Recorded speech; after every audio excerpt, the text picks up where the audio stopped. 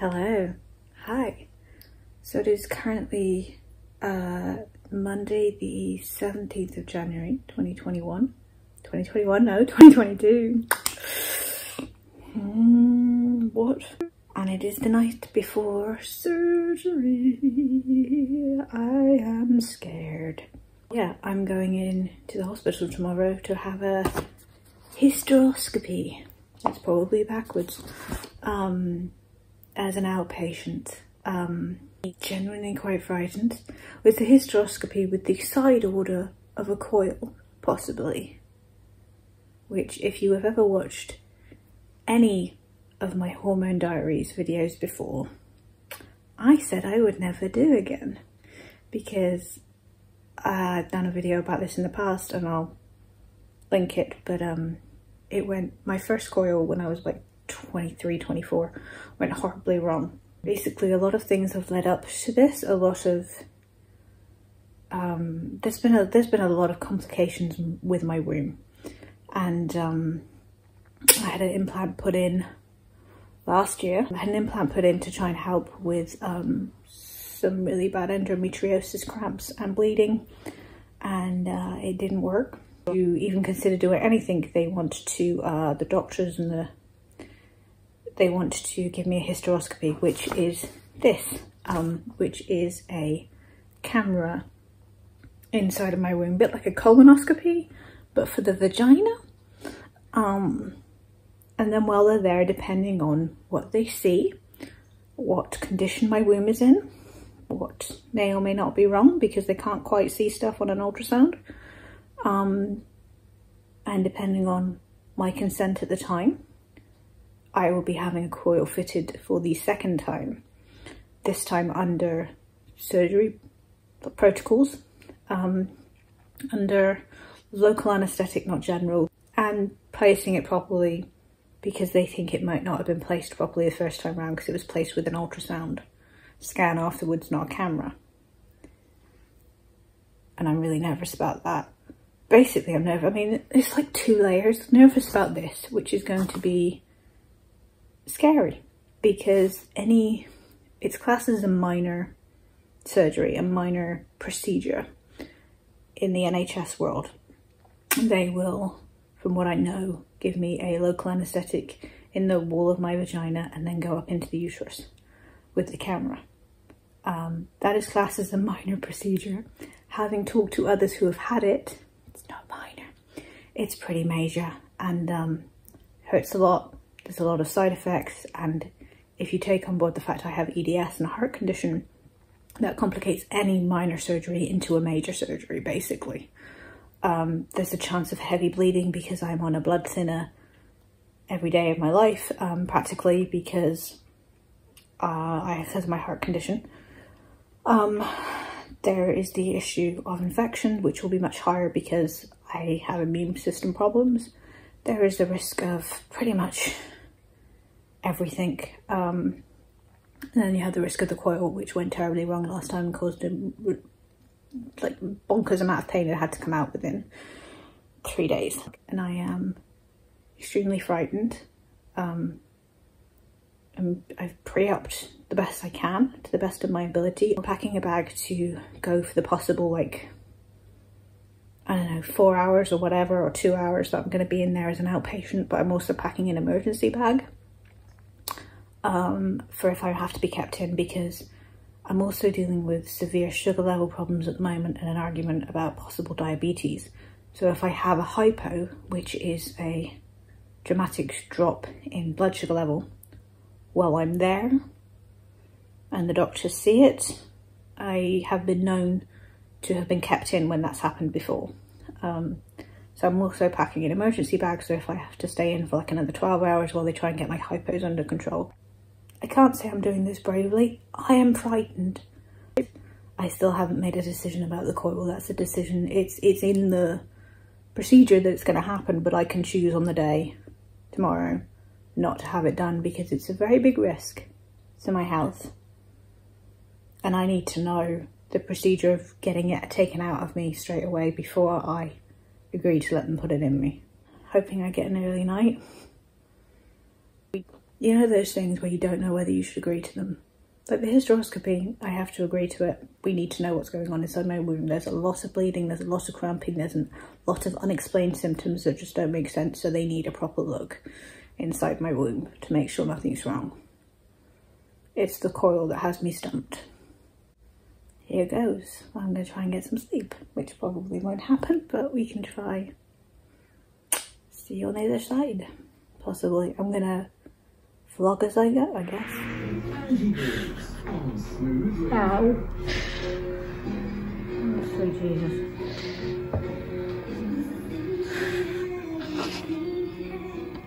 How is this my life? Hmm.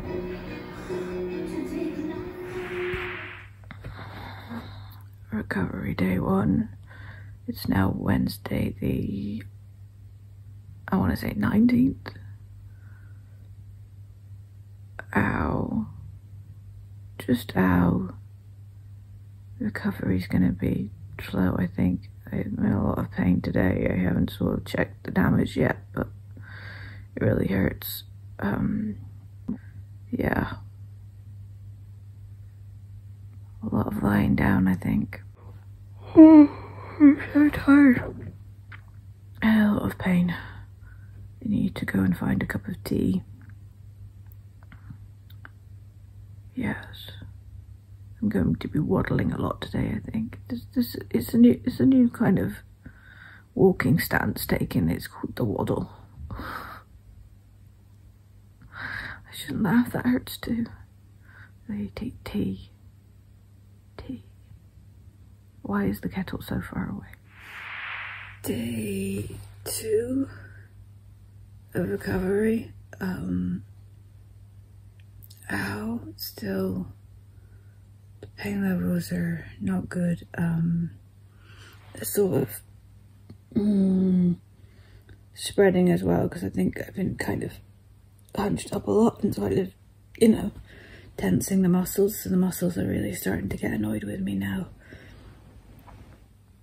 Uh, haven't moved much at all because it really hurts too. There's a lot of bruising and swelling from what I can tell. Unfortunately, the um, procedure seems to have kicked off an almighty period, which isn't helping. I don't know, like I was due on anyway, so I think it's just kicked it off. And um,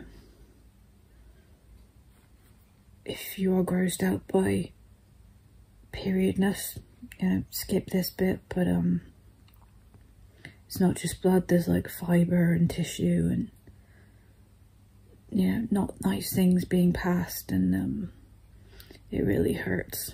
So I feel really weak and eating's an issue, like because I'm so tired, my stomach doesn't really want to digest meals, so I'm just smacking on what I can get down me at the time, but that's affected my sugar level quite a lot, so I keep on having like close to hypoglycemic attacks.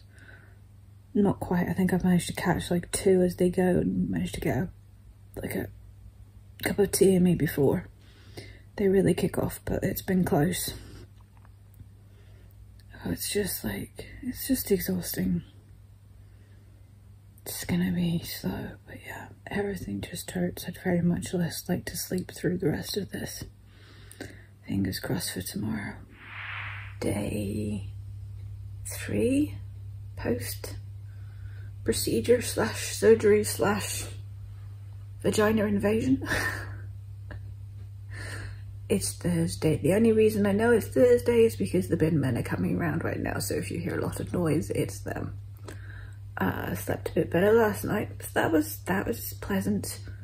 Quite enjoyed the sleep, thank you. It has a lot to do with the fact that I had some CBD gummies. Um, I've been trying them out to see if they help. They've helped the, like, low-grade muscle pain a bit, like from when I've been scrunched up. Um, I'm not sure if they're, they're, I think they're helping my brain kind of quiet down a bit as well. Took ages to, like, research and find one that I could possibly digest because most of them in gummy form are just full of sugar and so is this one but just less sugar I'll um I'll link it down below if you're interested. Um, but yeah, more sleep, like the sleep. Uh, it is possibly attempt a wash day. Uh, I want to say it's attempt a shower day, but I'm not that ambitious.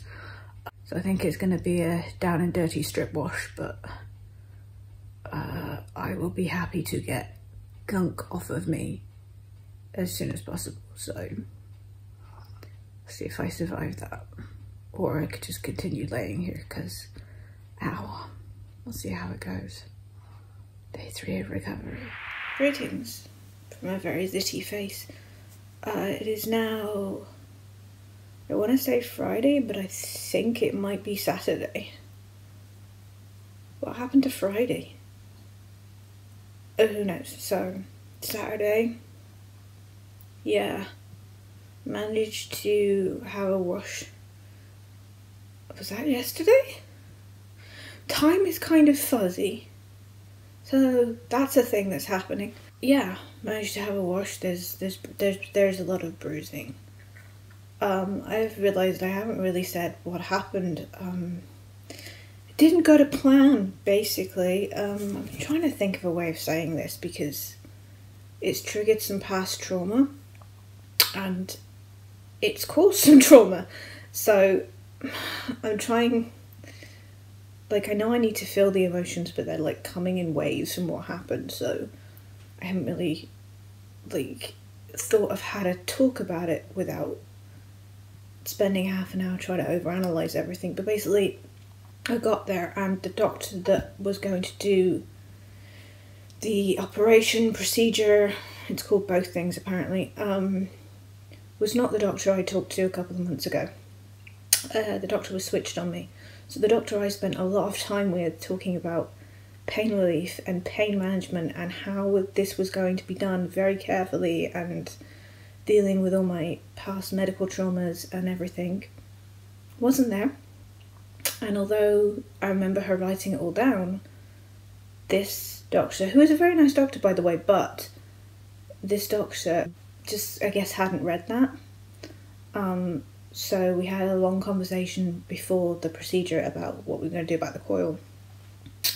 And the decision was that it was going to have one put in, but um, I would then be put into the waiting area or the recovery room while he did other procedures.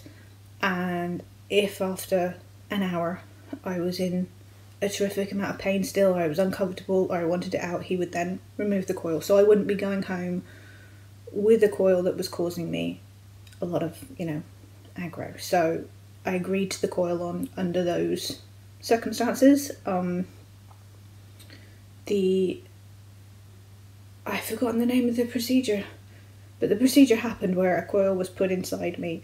That wasn't too bad for me because it wasn't too bad, I didn't notice. I mean, bearing in mind I've been in a hospital for about half an hour at this point, I have, uh, I get overly stimulated very quickly. So, light, noise, sound, trying to understand what the doctor's saying and respond to him. Like, that's drained me of all my responses and all my energy. So, as they are doing the procedure, I realised, hang on, we haven't talked about, whoa, that hurts I haven't mentioned pain meds and, and pain relief, and neither has he. He hasn't mentioned it once. He hasn't said, Would you like some pain relief? This is what we can offer you. How would you like to do this? He's just gone ahead and done the procedure without local anaesthetic, without gas and air, without any mention of anything. And it isn't until I'm like in the procedure that I realise. But because the hysteroscopy, that's the word, for me wasn't too bad. It was a tube with water going inside me, it fills up my womb, and then a camera goes in. And it was like low grade cramps, so I didn't feel too bad. So I was like, okay, well, it's happening now, and if he's not putting a speculum in, I'm not going to need pain relief. So I kind of just breathed through it and thought, I'll have to have a conversation in my next appointment of how this went wrong and how I wasn't given pain relief and how it wasn't mentioned because this isn't right. But I grit my teeth and I put through it and said, well, it'd be over in a minute. But what I hadn't remembered because right now I'm up, I've got my legs akimbo, something very weird is happening to me. There's bright lights, there's a nurse talking to me. I'm so overstimulated and I don't know what's going on. I'm just like, I've just got to lie here and breathe through this. I forgot that they're about to put a coil in. And he says, Do you want me to put it in? And I just go, Yeah, because at this point I've already agreed when I was sat down, so I don't have to make decisions while I'm in the procedure chair. Again, no painkillers. It hasn't dawned on me. I mean, it says on the paperwork, please take painkillers before you come, but I'm a human who can't ingest painkillers. They just don't work with me.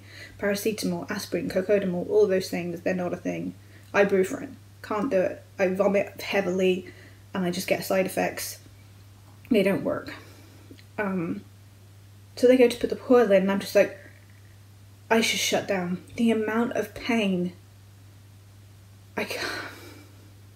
I don't want to talk about it because I don't.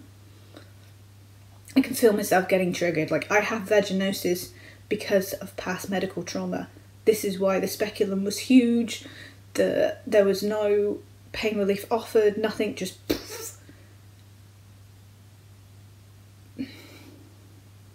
Yeah, I don't want to go into that. I'm not ready. I can't. I don't even know how. So there's a lot of pain, and um, the coil was placed, and he came out and he said, "How are you feeling?" And I'm just like, I couldn't talk. I had this overwhelming nausea um, from the pain of the coil. Um, I could feel the it's like it's like two different pains. I would say there was a level of two different pains. There was the pain of the procedure and the bruising caused or the trauma caused and it, it, it ached but it wasn't but then you had the sharp pain of the coil. Now it's really difficult to describe and I've kind of talked to a few people and the best way I know how to describe it is that it's like being poisoned. Um, it's like a uranium rod is in your your womb and it's sharp and it's stabbing you. And then pain starts to radiate out in like waves vroom, vroom, vroom, and it's just it it just spreads. And I was helped by the nurse back into my clothes because I was feeling really faint and really sick and put back in my wheelchair and taken into the uh, the waiting room, the the recovery room, I suppose. Um, and my friend came in with me, and that's where the um, the little bit of footage was was taken of me bent over in my wheelchair and I was trying to laugh. I mean, in that video, I'm laughing a little bit, but that's because my my response to trauma, my response to anything overwhelming, is to laugh, because my brain just goes, Are "You're kidding, right? This is insane. Like, it's not possible to be in this much pain. This is just this has to be a this has to be a joke." And so my trigger response or my trauma response is laughter. I've learned this like a while ago, especially when I was in hospital, like years ago, somebody told me something dramatic, I'd laugh in their face. Um, so my trigger response is laughing, so I'm laughing, but it's not. It's because I'm so overwhelmed and scared. I mean, this pain was just growing. And it was shooting down my legs and shooting upwards, and I didn't want to eat, I didn't want to drink and I recognised it. This is what happened last time. Like I didn't eat or drink for like three days last time I had a, a coil put in because I couldn't because all you can feel is this overwhelming pain and poison going through your body. And I started getting pins and needles down my legs. I was trying to like wiggle my toes and I could barely move them. My legs like and I've had partial paralysis before because of medication going wrong. And it felt like that was happening. I was just like, I'm on, I can't, I'm, my legs are going to go soon. I'm starting to not be able to feel things. And I just bent over and breathed for about 20 minutes of just, I can get through this, this will pass, this will pass. And it wasn't passing, it was just getting worse and worse. And so the doctor came in after doing one more procedure on somebody else and asked how I was because the nurses, I think, had mentioned to him that she, she just hasn't moved. She's bent over. I was bent over in my wheelchair and I didn't frigging move for half, for 20 minutes. Just breathing he came in and said, How are you? I said, I'm really sorry, it's getting worse. It's just building and building and getting so much worse. And he did say, Do you think it's because you're triggered from the last time? And I'm just like, I don't know if I am triggered from the last time or not. Either way, it hurts. He's just like, Do you want it out? And it's like, I think we're gonna have to. I don't. I, I can't go home like this. Like I won't be able to. I can't see a way out of this. I'm really sorry. Like I kept apologizing. Like he's the one who's put it in without pain relief. But anyway, I kept apologising for wasting their time and for wasting a coil and for wasting medical NHSness. And I still feel guilty now. I've got so much like friggin' guilt from my body not reacting the way they want it to react to medical stuff. Like I can't stop it from happening. It's not my fault, and yet I feel guilt for it. It's a whole big thing. Seriously, years of therapy need to happen. Um, but yeah, so I went back in, but again, no pain relief, no nothing. I mean, I can't barely talk at this point. I'm just like, please just get it out, and that's the only words I've got. Strip back now and again, but of course, I've already had a speculum put in me once and they're about to do it again. So they just put trauma on top of the other trauma. So what is already a very bruised area is just going poof, bruised again.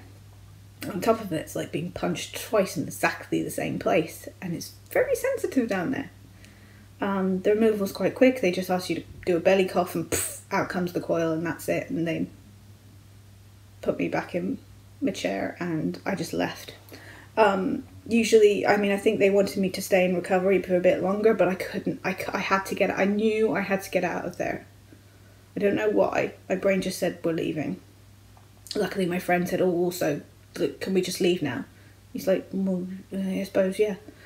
I'm just like, just get get us out of here. Put outside into the air, and I started to be able to breathe, and the nausea kind of lifted a bit from air. And I've come home, and I mean, there's so much pain and so much I don't know even how to I don't this is why I don't like gynecological stuff because I have vaginismus from it and the trauma and you just like nobody touch me ever again please. It just builds and builds and builds and each time sometimes you'll get i mean this is a nice doctor. I've spoken to this doctor before. He's always been lovely. It was just wasn't written down and i couldn't advocate for myself. I mean i'm a 35 year old woman. I should be able to say please stop. This is ridiculous. Give me some pain relief. But this is why i have the conversations and the appointments before because once i get into an appointment i, I you know i have brain fog. I have um oversensitivities. I get overstimulated by noise and sound and lights and smells. So I make sure I have advocated for myself like way before that because by the time I get into the procedure, I'm not going to be a human anymore. And I have another appointment in March. It's January now, so I have an appointment in March to talk about what happens next. But I just, I don't. Like, I have the physical side to get over physically get better, but psychologically, it's going to take a while. That's what's happened. I'll probably end the uh, the vlog here because my, my recovery is just going to be more days in bed. I don't think anything new is going to happen now, so it's just going to be more days in bed and the long process of figuring out how to carry on with my life because I have no answers. The camera came back clear. There's no like reason for my excess bleeding, which is what's happening. I'm bleeding too much. There's besides maybe it's a side effect from the implant, but the implant should have calmed down by now. So nobody knows what's wrong with me. That, was uh, my hysteroscopy procedure slash surgery slash whatever they want to call it unpleasant, no answers, besides the fact that nobody knows what's wrong with me. And coils are a very bad idea for my body. Okay. How do you say goodbye with trauma? Bye.